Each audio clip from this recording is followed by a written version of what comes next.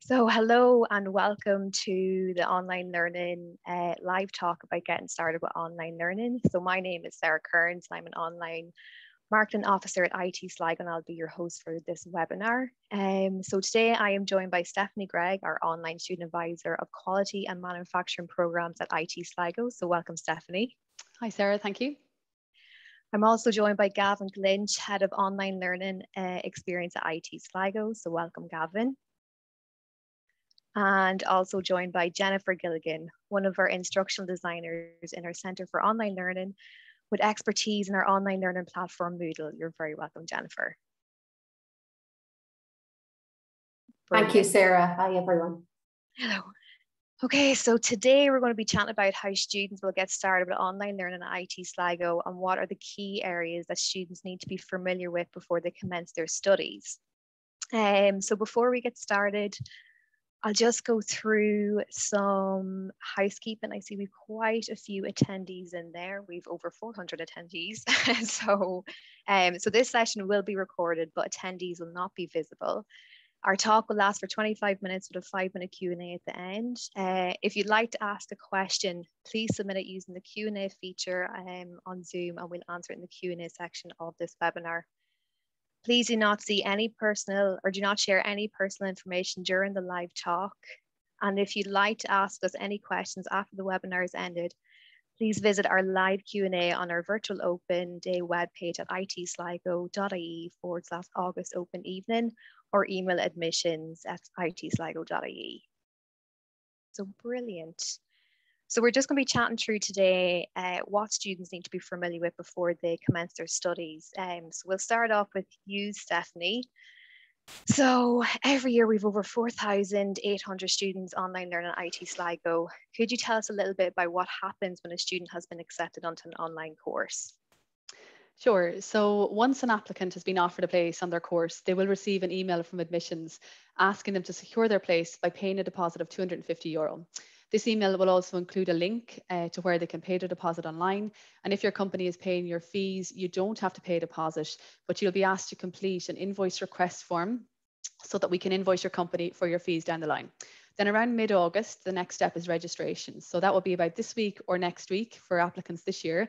Uh, you will receive a registration email from our admissions team, which will give you details on how to register online as an IT Sligo student, how you access Moodle, which is our virtual learning environment, how to access your student email account, how to get your student ID card, and it'll also have information on induction and orientation week and when your classes commence. This email will also include your user ID, your PIN, and all the URL links to these items. So everything you need will be in this email. Um, to help and to support the applicants with this registration process, we've also created a very useful uh, step-by-step -step video uh, to support you on how to complete your registration online. And this, a link to this video can be found uh, on our website uh, by visiting itsligo.ie forward slash online learning. And just to remember, all these emails from admissions will be sent to the email address uh, the applicant used when applying for their course. So please do keep an eye out in your emails and um, keep an eye out for it and keep it safe. Perfect. Thank you, Stephanie. So when can applicants expect their registration email? Do we know when it will be sent out? So this year, uh, I was just talking to the admissions team today, and it's likely that by the end of this week, it should be hitting their inboxes, if not first thing on Monday morning. Brilliant, brilliant. And that email will include all the information that applicants need to start the registration process. Yeah, everything's in it. And if you have any questions after you get it, you can contact admissions at itsligo.ie and we'll help you out. Brilliant, brilliant. Okay, so when a student is fully registered at IT Sligo, what resources do they have access to? Um, so firstly, when a student has completed their registration, they'll be invited to attend and participate in the Induction and Orientation Week. And this is a really good starting point for any online student at IT Sligo to get to know what resources and supports and services are available to them. And I know my colleagues this evening here are going to talk a bit more about induction later on, so um, I'll just move on.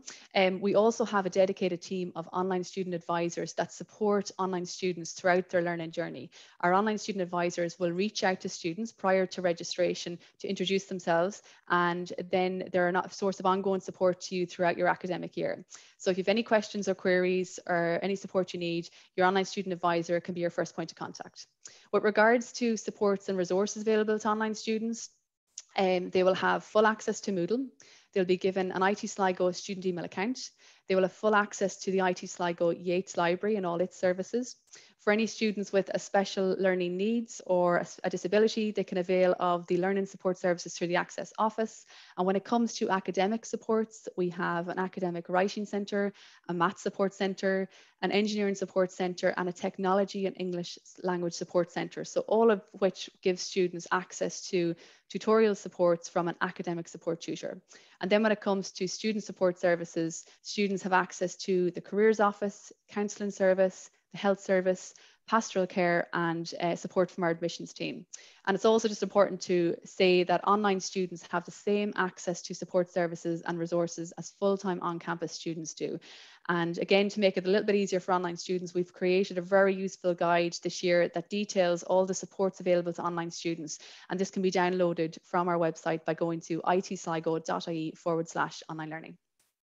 Brilliant. Thank you, Stephanie. There's loads of great resources that online students uh, can avail of. I think it's a really important point too, just to say that online students have the same uh, supports and services as full-time on-campus students. That's really important. Yeah, yeah, absolutely. Yeah. Brilliant. So Gavin, following on from all the great resources uh, that an online learners have access to when they're registered students, can you bring us through how important induction is as a new online learner at IT Sligo and what students can expect at Induction 2021? Thanks, Sarah. Um, I, you know, I think that our experience over the last 20 years has shown us that those students who attend induction really gain from it. They gain the opportunity to meet their coordinators, meet their lecturers, meet fellow students, and to I suppose to gain an understanding of the resources and the supports that we have in place. Uh, it, you know, if you don't go through the induction process, then you miss out on, on a lot of that. And that's, it's really about preparing yourself for, for that world of study. Many people are returning to study after a long period of absence from study and they've been in the workplace. Um, and I think we all know it's like preparing for a job, you've got to hit the ground running. I think that's why it's so important to, to participate in the induction process. Now, many students will be familiar with some of the technologies that, that we have. That's fine. They might be familiar and they might feel that they're ready for, for, uh, for study. But it is, as I say, the, the feedback that we have from, from past students is that it's very important to them. Um, and in, in previous years, up until really last year, we had a, a, a kind of a one day on site induction event and it was it was full on. It was very intense um, probably too much information bit of information overload. So now what we have is an induction week which will be from the 13th to the 17th of september. Um, it's online. None of the students are coming in uh, into the into the college. So they can kind of dip in and out of the the activities and the supports that we have and they can access different different things. So a combination of live events particularly in the evening of Tuesday, Wednesday, and Thursday, each um, each program board, so each student will, will be able to attend a session from their program coordinator and their lecturers, a live event for one hour between seven and eight. And that will be broken down by faculty. So one evening will be for uh, business and social sciences, one evening for engineering and design, and another evening for, for the School of Science, Faculty of Science. Uh, and then there are a number of pre-recorded uh, material that students can engage with and, and listen to presentations from our, our, president, Dr. Brendan McCormack, from our registrar, Dr. Michelle Glacken, uh, from our VP for online development, um, Professor Jacqueline McCormack. Uh, and then other resources that we have around preparing uh, for student success. Um, we have a number of, of short courses, uh, fully online courses that students can engage with around student success, academic integrity, uh, being well, living well. Um, I'm sure other colleagues will touch upon those as we go through, uh, through, through this evening session. And then each lunchtime during that week, we'll have a little live public event. So anybody can, I see there's questions coming in uh, through this session now, but there'll be a live session with uh, online student advisors, different, different supports people that can um, address questions in that one hour lunchtime session. Um, so there's a there are a lot of resources, there are a lot of supports, and what I'm really saying is make the most of that induction week. Um, it's not a full-on week in terms of uh, you know five or six hours. It's maybe an hour a day, half an hour a day that you can you can touch base. Um, we'll have a full uh, schedule for that week that you that, that students can engage with uh, different things at different times. Okay, brilliant. Thank you, Gavin. And just to confirm, the dates for online learning induction this year is the 13th to the 17th of September. That's right, yeah. One other thing I, I should mention, Sarah, is uh, we have a mandatory COVID course which will be uh, in place. I'm not sure when that will go live, but probably on Thursday of that week. So Thursday, the 16th of September, um, either at one o'clock, two o'clock in the afternoon. This um, uh, it will go live, which means that the students won't be able to access Moodle. Now, Jennifer's going to talk about Moodle in, in a moment, our, our virtual learning environment. They will have to complete this course. Now, for some online students, they will say, well, why, why am I doing a COVID course? Because uh, I won't be coming to campus. But for many online students, they will. They'll have to come in for a workshop or come in to take an exam or assessment or whatever. So it is there. It's applied to all students. It's a very short uh, course, but it will have to be taken. So just to flag that one as well. Okay, perfect. It's good to get the heads up on that. Um, so Jennifer, many students might not be aware what Moodle is. Can you give us an overview of Moodle and what students can expect when they log into Moodle for the first time? Sure, Sarah. Yeah, Moodle is our virtual learning environment. So all lecturers and registered students can access Moodle. And once a student logs in, they'll see a list of their module pages and also an overall program page. Now, as Gavin mentioned, they'll also see the COVID-19 course once it's released, along with other supports, which are very useful uh, during the induction week, and we'll be pointing to those resources. Um, each module page enables lecturers of that module to provide learning materials to their students. So for example, any PDFs, videos, recordings, web links, even the times for your live lectures and the links to your live classes are all contained on those module pages in Moodle. So your program page then will display overall information about your program, such as your timetable and other important announcements. Moodle enables communication between your lecturer and yourself, and some lecturers will use forums for this. And a forum is a messaging area within each of your Moodle pages, uh, Moodle module pages, sorry. So it's a space where you can ask questions of your fellow students and also of your lecturer. Um, just be mindful that forums are also uh, post uh, messages are also posted out to all participants on that page.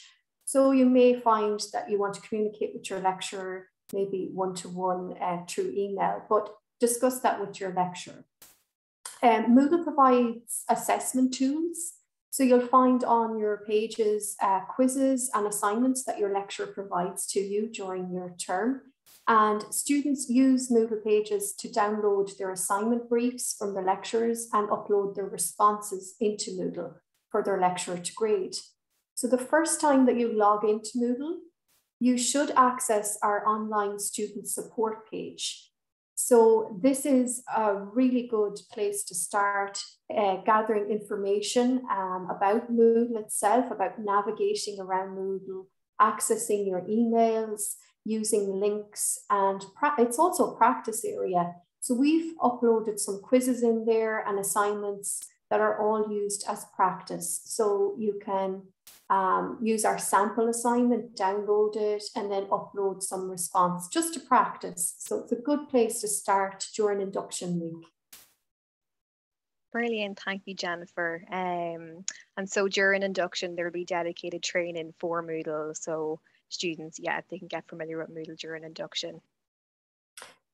Yeah, that's right. So we have videos in there on that page um, to just give you an overview of how to navigate around Moodle and also accessing all of the great supports that we have in there. So Moodle is our go-to place for everything and everything is branched out from there. Brilliant. Thank you, Jennifer. So then what about live lectures? How do students find out about them? Um, are the like how are they able to join in? Are they able to watch back if they haven't been able to attend an actual lecture? So how does that work? So a link to your live lecture will be available within each of your Moodle module pages. So once, once you click on the link, you'll be brought straight into your live classroom space. Some lecturers use Microsoft Teams and others use a software called Adobe Connect. So your lecturer will present material to you during this live class and discuss relevant topics. And it's also your opportunity to ask questions and get to know your fellow peers. So each of these live classes are recorded so that you can access them even if you miss the class. But they're also really useful as a revision tool. So they're available to you all through your semester. Um, and particularly at the end of a semester, it's useful to go back over the recordings as revision. Um, they are available to you for the full duration, as I mentioned. And also, we've put in some practice recordings into that online support page that I mentioned so that you can click on them and have a look at what a typical recorded lecture looks like, how you speed it up, slow it down, um, and just generally get used to um, the functionality of recorded lectures. Okay, brilliant. I just have a question there. The recorded lectures can they be accessed anytime? So yes, they can, and that's brilliant that they're you can access them right up until the end of the semester too, so you can go back and study and help with your revision as well. Yeah, as I mentioned, um, you know, if there's a particular point in a video that there's something you don't understand, and even if you've attended the lecture, it's useful to go back over maybe the key topics that were covered, um, or maybe if you wish to ask a question after the live class, um, you know, you can also go in, look at the recording, pinpoint the point at which something was mentioned, and then ask the lecturer. And you being very specific then about your question. And as I mentioned before, we use forums, which are really useful for peer-to-peer learning. So not only are you asking the lecturer, but you're opening up the discussion with your peers. So equally, if you see a question in there in that discussion forum that you can answer, um, it's really nice that you can help a fellow uh, peer and you know you can learn from each other. So you're not just relying on the lecturer, um, you're also sharing uh, examples of maybe even uh, work that you have worked on, maybe your own work experience or examples, um, which help others to understand the topic. Brilliant. Thank you, Stephanie. So we'll move into our Q&A section of this live talk. So one question that came in. So, hi there, can you tell me if online classes will be pre-recorded or live and during live lectures, is it possible to get a live response from a lecturer? Jennifer, do you have any information there? Yes, so live lectures are interactive. So uh, you do need a headset. You need to be able to hear the lecture um, and in our online supports page, we've provided some uh, diagnostic tests for your audio equipment to make sure that you can test them out prior to any lecture. So it's a good idea to go into that page, check your audio and make sure you can hear because when you go into the lecture, you will have the facility to raise your hand and to ask questions. Uh, your, your mic may be muted um, because the lecturer may choose to do so, but they will give you an opportunity during the class or after the class to ask questions. And um, there may be a lot of interactive um, interactivity within a live class, depending on what the topic is. You may be asked to do some group work within the live class, go into a breakout room. Um, the lecturer may conduct a poll um, and ask questions and get feedback, check your understanding. So yeah, it's it's not a passive exercise. So attending the live class is recommended so that you can participate in those types of activities. But obviously, if it's recorded, it's uh, beneficial to the flexibility of online learning where you may have other commitments in the evening on particular days and you can uh, still take the opportunity to watch back Okay, brilliant. Thank you, Jennifer. Um, so just another question that came in there. Can course fees be paid in installments and how regular will payments have to be made? Stephanie, can you tell us that? Sure, so absolutely. Students have the option to pay their fees via instalments and can split their fees over two instalments in that academic year. So once they pay their deposit, they'll receive a deposit confirmation email from our admissions team. And in that email, it includes information on how you can pay your fees via instalments. So it'll all be in that email for you. And absolutely, instalments is certainly an option for them. Brilliant. Thank you, Stephanie. So just a question that came in there. So when do students receive their timetables? I presume that's induction. Is it Gavin or Jennifer? Can you let us know? Uh, the timetables will be issued, I would say, in that week of in induction, and certainly I mentioned the, the sessions in the evenings on Tuesday, Wednesday, and Thursday when you meet your program team. So some of the questions that are coming into the Q&A at the moment are very important questions to ask the program team because they have more, more detail on it. Um, but typically lectures, live lectures are in the evenings uh, between seven and, and nine o'clock. Um, but sometimes they sit outside of that but they're not really in, in, in the daytime. But those timetables will be um, agreed and issued in that week of induction.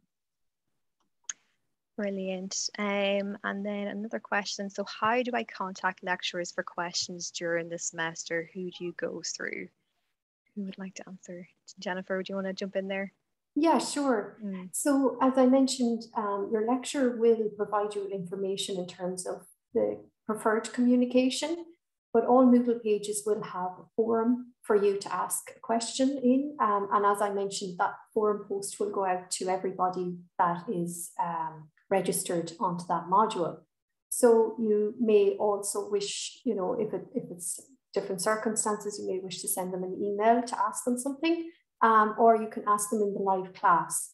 So there is a chat box facility as well, either if you're in Teams or if you're in Adobe Connect to ask a question. Um, so there's multiple ways of communicating with your lecture, um, but we would direct you to Moodle first. And generally that the types of communication is posted at the top of your Moodle page, you know, the email address of the lecturer, um, and of course the forum. So there's there's several ways to do so, and it's it's really depends on the type of question you're asking as well, whether you want to ask the lecturer privately or whether you're comfortable with the forum post. Okay. Um, brilliant. Thank you, Jennifer. And then another question. Can you tell me the start dates for course commencement? Gavin, would you have information there? Yes, lectures will begin in the week after uh, induction. So that's uh, Monday, the is it the 20th, 20th of uh, 20th, September. Yeah the lectures will, will commence in that in that week. Again, your program coordinators will confirm that in that in that week of induction in those evening evening sessions. Not everybody's going to have a lecture on a Monday. You might have um, a lecture on Monday, sometimes two in an evening, um, probably a couple of evenings a week. Again, it depends on the on the on the program uh, and the structure of that program. Okay, great. There's quite a few questions coming in there. So when do lectures start? So that's the 20th of September. How do you know who your program coordinator is or your course coordinator is? So that will be given to you during induction week. Yeah, I'm right in saying that, Gavin. Yes, that's right. Um, like we should have information up on our on our website prior to that, but you will certainly meet the program coordinator and the lecturers uh, of on your course in that in that evening session. So it's very important to attend those, and, and there will be links uh, to those events posted once we've got our induction page up. Mm -hmm. Um, I'm seeing a lot of questions about exams. I might mm. um, pick up on that one, Sarah, if that's okay. And, and time yeah. zones. A, a, few people have asked about time zones um, and attending. You know, is it mandatory to attend lectures? It's not mandatory. I used to have students who were in Australia, Canada, different parts of the world, so they couldn't join a live lecture, uh, but they watched the recordings and they basically developed their own timetable in terms of when they engage with those lectures and when they engage with the uh, assignments. So it's important to, to do that, to have your own study plan, uh, particularly if you're in a different time zone. So it's obviously an advantage to attend a live lecture because you can have a Q&A and listen to other students asking questions and have a conversation. Um, but we do appreciate that people are in different time zones or perhaps they're working in the evening or their family commitments in the evening. So, you know, online, our online programs are as, as flexible and as accessible as we can make them. I think that's that's a really important point to, to, to note. Um, people are asking about exams being online some of our exams are, are online where a program board have decided that they can make the assessment in an online environment. They are invigilated online through a webcam, but a lot of the exams are still held in venues in Sligo, Dublin and Cork. And that's in a typical exam hall where people sit down with, a, with pen and paper. Brilliant. Thank you, Gavin. And just to mention, uh, for those asking about examinations, in our online uh, live talk at 8 p.m., we'll be going through assessments and examinations there. So tune in. So brilliant. I think we'll wrap it up there. So thanks, Gavin, Stephanie, and Jennifer uh, for being our panelists this evening. There was a lot of really good information shared on how to get started with online learning IT Sligo. So if you'd like to watch back, we'll upload a video of this live talk to our virtual open evening webpage at itsligo.ie forward slash August open evening. Um, and just to mention, if we didn't get to answer your question, you can head over to our live Q&A on our virtual open evening webpage and submit any questions there. Our team will be available to answer your questions until 9 p.m. this evening. Um, and we also have a registration and fees help desk uh, live until 9 p.m. as well on our virtual open evening webpage for any questions about registration fees and um, payments and that kind of stuff. So thanks, guys. And thanks, thank you to Thank you, Sarah. Thanks, everyone.